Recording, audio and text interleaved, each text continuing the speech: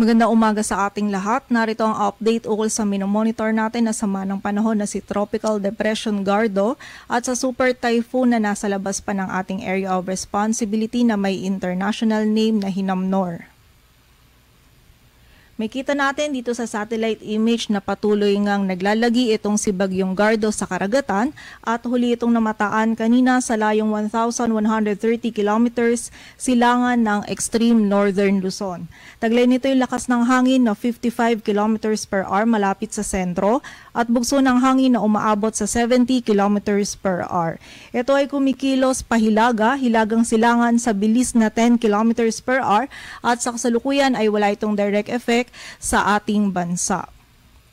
Samantala, si Super Typhoon Hinamnor naman na nasa labas pa ng ating area of responsibility ay huling namataan kanina sa layong 1,130 kilometers east-northeast ng extreme northern Luzon.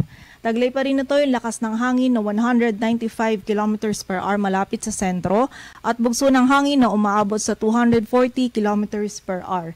Ito ay kumikilos pakanluran timog kanluran sa bilis na 30 km per hour at sa kasalukuyan ay wala rin itong direct effect pa sa anumang bahagi ng ating bansa. At para sa latest forecast track analysis ni Bagyong Gardo, nakita natin na patuloy nga or mananatiling malayo ito sa anumang bahagi ng ating landmass. And nakita nga natin na generally ito ay kikilos pa northward or north northwestward throughout yan ng forecast period at meron din itong posibilidad na magkaroon ng interaction with Super Typhoon Hinamnor. And nakita din natin sa ating latest analysis by this afternoon or mamayang hapon or gabi ay hihina na nga ito at magiging isang low pressure area na lamang at sa interaction nga nito with uh, bagyong Hinamnor, nakita natin na sasama or posibleng maging trough na lamang nito magiging uh, trough na lamang ito ni Bagyong Hinamnor sa susunod na araw. At ayon din sa ating latest analysis ay wala tayong nakikitang direct effect nito ni Bagyong Gardo sa anumang bahagi ng ating bansa. At para naman sa forecast track ni Bagyong Hinamnor, nakita din natin na hindi ito maglalandfall sa anumang bahagi ng ating bansa. And generally, ngayong umaga, kikilos ito pakanluran. And by this morning then through Friday, ay magbabago na yung pagkilos nito. Generally, magiging west-southwestward. Magiging pababa yung kilos nito. Pas- papasok yan sa loob ng ating area of responsibility kung saan inaasahan natin mamayang gabi or bukas ng early morning yung posibilidad na ito nga ay nasa loob na ng PAR at papangalanan nating Henry. And also nakita din natin na magiging mabagal yung pagkilos nito ni Bagyong Hinamnor and posibleng maging almost stationary ito by uh, late Thursday or through Friday. At para naman sa magiging epekto nito o yung uh, hangin na magiging dala nito ni Bagyong Hinamnor, nakita natin na posible ngang uh, mas lumaki pa yung diameter nito kung saan meron tayong uh, posibilidad na magtaas ng tropical cyclone wind signal over the area ng extreme northern Luzon. Posible yan sa bahagi ng Batanes at Babuyan Islands kapag nga ito na ay nasa loob ng ating area of responsibility. Samantala sa mga pag-ulan naman na dala ni Bagyong Hinamnor, posible ding makaranas ng mga light to moderate at kung minsan ay mga malalakas na pag-ulan, yung bahagi ng extreme northern Luzon, dulot yan nito ni Bagyong Hinamnor, possible yan by late Thursday or by Friday. And also, nakita din natin na i-enhance nito yung southwest monsoon o habagat na siya naman magdudulot ng mga pag-ulan sa malaking bahagi ng Luzon, lalong-lalo na yan sa western section ng Luzon, posible yan by Friday hanggang sa uh, weekend.